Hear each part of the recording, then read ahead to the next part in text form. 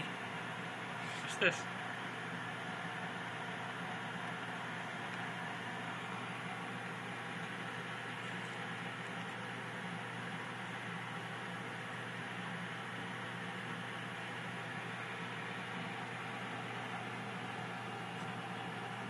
Trying to launch iTunes for me?